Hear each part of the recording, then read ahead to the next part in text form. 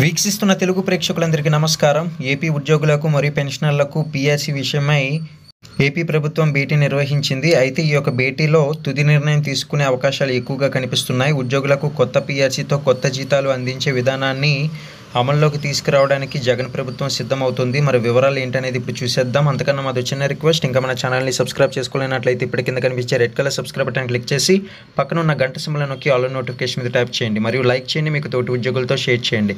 ఇంకేమాత్రం కూడా ఆలస్యం చేయకుండా వివరాల్లోకి అయితే వెళ్ళిపోదాం.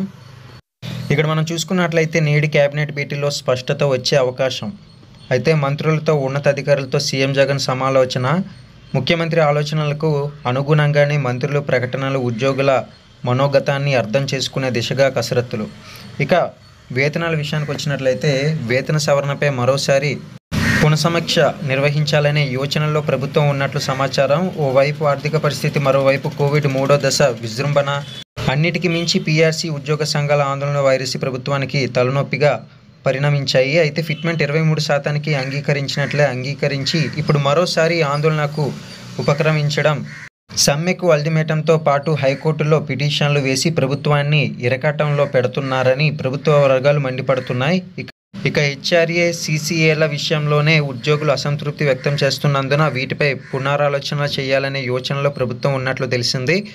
వీలైనంత వరకు కొత్త పీరియస్తో మంచి వేతన అయితే ప్రభుత్వ ఉద్యోగులందరికి కూడా ప్రకటించే ఆలోచనలు అయితే ఏపీ ప్రభుత్వం ఈ యొక్క భేటీలో అనేది మాట్లాడుకోవడం జరుగుతుందన్నమాట. మరి వచ్చే అధికారిక అప్డేట్స్ మీరు పొందాలి అనుకుంటే మన ఛానల్ని సబ్స్క్రైబ్ చేసుకుని ఫాలో అవ్వండి. Thank you